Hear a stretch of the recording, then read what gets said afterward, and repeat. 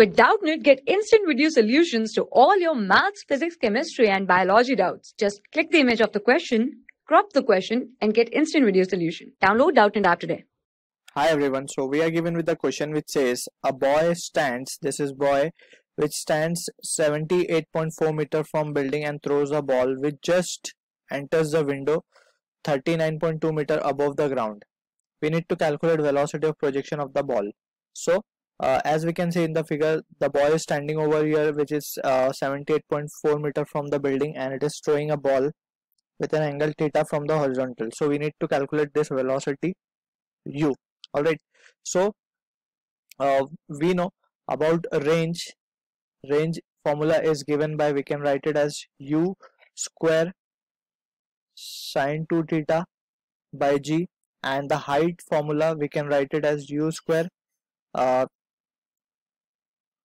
sine square theta by 2g alright so this is the formula of height that is this height and range.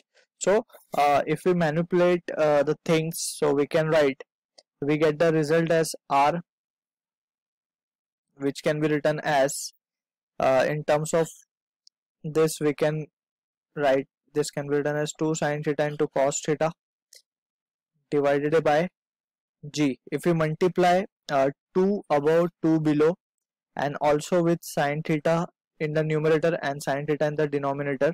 So what we are going to get is uh, we can say this can be written as 4 uh, into this sine and uh, this term that is u square sine square theta by 2g can be written as h. So we can write it as 4h and what we are left with is uh, we can write cos theta by sin theta uh, that is cot theta. So this is the result uh, which we are getting in terms of height. Therefore we can say uh, 4h by r will be nothing but it can be written as tan theta. Alright now what we can do over here is we can just substitute the value to get the angle first. So we have been given with height that is 39.2 and range. For range we can see half of the range is been given as 78.4 so half will be the same. So we can write it as 2 into uh, 78.4 and that would be equals to tan theta.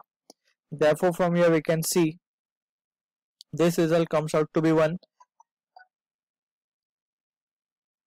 this result comes out to be 1 therefore we can say the value of theta will be 45 degree. All right. So now we have with us the value of uh, angle. So we can say we will use the uh, formula for height and we can just calculate the value of u.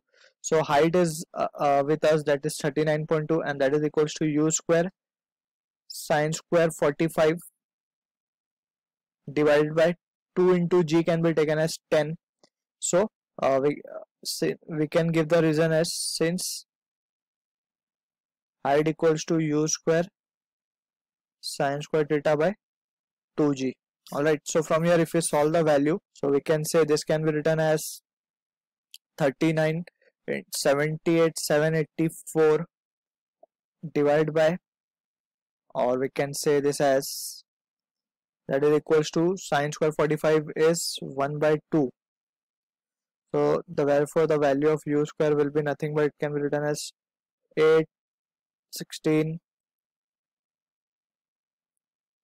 therefore we can say the value of u comes out to be uh, 39.6 meter per second alright so i hope you have understood the concept well and thank you for watching For class 6 to 12, IIT JEE and NEET level. Trusted by more than 5 crore students. Download Doubtnut app today.